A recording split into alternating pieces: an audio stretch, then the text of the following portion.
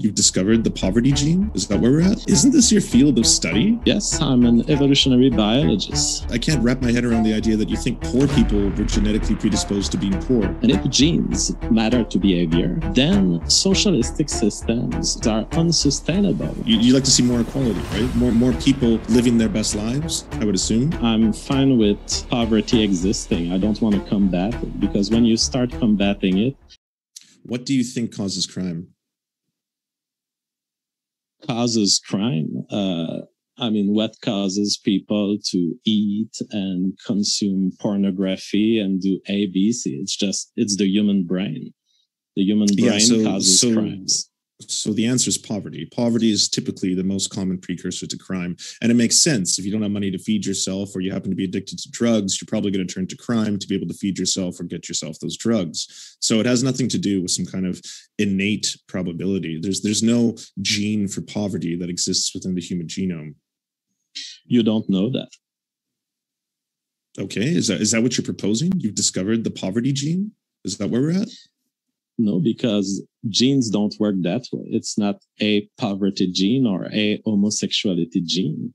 The problem is that the human genome is a complex entity and some, some of it makes you more likely to be intelligent, less likely to be intelligent. And down the line in the causal influence of thousands of genes, uh, you may have paths that lead to more likely criminality or less likely to be criminal.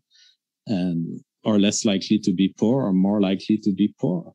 Uh, there's definitely polygenic studies that show genetic correlation with wealth, genetic correlation with IQ and educational attainment. So there's the answer to your question is almost yes. It's just not one gene. It's a thousand genes. Isn't this your field of study? Yes, I'm an evolutionary biologist. Yeah. So why is your understanding of this so cartoonish? Like I, I I don't I can't wrap my head around the idea that you think poor people were genetically predisposed to being poor. Well, I will let people judge who's more cartoonish bef- be- between the guy who has no training in biology and asks for the poverty gene and the other guy who does have training in biology and who informs you that we have correlations between genes and poverty and IQ and educational attainment in the thousand counts. Well, yeah. I mean, they'll have to judge between a clown on the internet who makes jokes for a living and someone whose actual academic field of study is in this very specialization. I mean, do you have an argument? Because I can pull the studies. We can get into the nature papers that look into the meta study of all twin studies. And the thing is, do you have an argument or, or do, do we have nothing here? Uh, yeah, I, I, do have an argument. According to the uh, International Monetary Fund, as well as numerous studies on what is the causal link between poverty uh, and crime, it's almost always established that crime is a precursor. Uh, sorry, poverty is a precursor to crime. Like that, that, that has been established time and time again. I, I, I've yet to see anyone propose the fact that there is a genetic link for people becoming poor outside of maybe what? like uh, the bell curve well, uh, you can get into nature papers and you type genetic correlation between uh, GWAS studies and twin studies, and you'll find you'll find genome-wide association analysis of risk tolerance and risky behavior. That's one that's more specialized. I would have to find the one that gives all the answers that you want. But there's definitely genetic correlation between the genes on the one hand, the twin studies establishing the polygenic influence of genes and all of the factors we've talked about. Now, have you ever realized that it's not because there's a correlation between poverty and criminality that this is not, this correlation is not ultimately explained by a genetic influence? Well, yeah, but I think the idea between correlation and causation there, I mean, you're doing the heavy lifting on the other part, right? At the end of the day, if it's poverty that is going to be the, the precursor to crime, then those who are impoverished most likely will have lower test scores on whatever like quotient you're trying to give them. They'll have lower IQ scores, obviously, because they are embattled in poverty. That wouldn't surprise me to find that out. That does that's not an indicator that somehow they're genetically predisposed to being poor. Like I've never heard anyone suggest that that there happens to be a genetic coding that makes people po- like impoverished. Well, uh, you can go uh, look why evolution is true. The blog, they have a post recently called How Much Variation in Human Behavior is Due to Variation in Our Gene. Answer quite a bit. And so the reason you've not been exposed to these ideas is that you've been presumably hanging out in uh, social circles of leftism.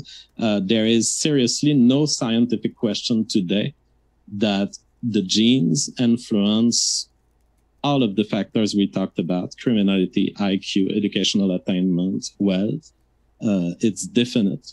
The, the, definite answer is yes. And you, you'll see the link to the original peer reviewed study in that blog post. Are we going to talk about uh, capitalism or socialism at all? Is, is that going to be on the menu or? Well, you know, it, it, we're still talking about it. That's the important thing is that we're, we're talking about these issues because if evolution applies to humans, and it does, and if genes matter to behavior, then socialistic systems, welfare systems, UBI systems are unsustainable over evolutionary times. That is my point tonight. And I all I hear is ad hominems, insults, jokes, a guy who recognizes himself that he's a comedian on the internet uh, I, I, was expecting more. Yeah, fair enough. Uh, I was not, so I've been I've been basically met with exactly what my expectations uh, presented.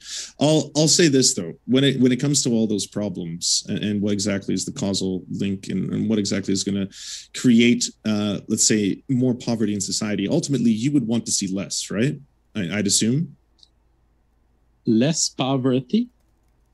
Yeah, less less poverty. You, you like to see more equality, right? More more people living their best lives. I would assume. Not necessarily, you know. I, I take planet Earth as what it is. You know, when I look at the population, whether it's of animals, of plants, or of humans, I don't see something that must be manipulated towards something better because of my taste. I don't have that kind of narcissism to think that my preferences over the world should overtake it. I, I, see it as a natural system that will develop and that will either sustain or not sustain. And so when I look at humanity, I'm fine with our past, for example. You know, if I look at the human population a million year ago, I can imagine that they were living kind of rough lives and I don't take issue with this. I'm fine with what we are. We are animals. We come from populations of apes and we are subject to evolution. I'm fine with everything we've went through. And sometimes I think that in what we think is an advance, we are actually directing our societies toward systems that should not be, uh, should not be adopted and that we should, yes, return to a state that is perhaps more poor, but more in line with nature.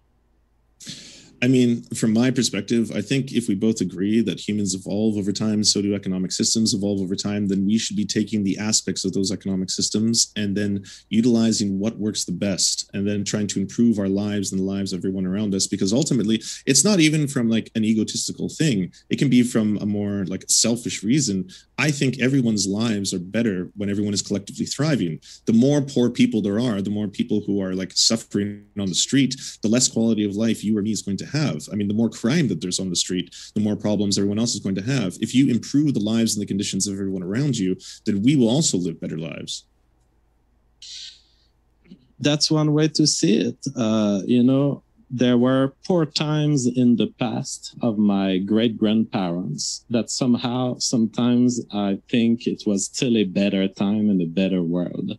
So it's not all about wealth, definitely. And there are desirable things of societies of the past that got abolished by the current uh, eccentric lifestyle and the over perfusion of wealth and money and the system and I'm fine with poverty existing. I don't want to combat it because when you start combating it, you start entering the game of unsustainability, the game of feeding the birds, feeding the squirrels. And to me, that's a dangerous path to take. Um, I, I don't know where we move from here, James. Did did we have, do you want to go to the next section or should we? We shall. And so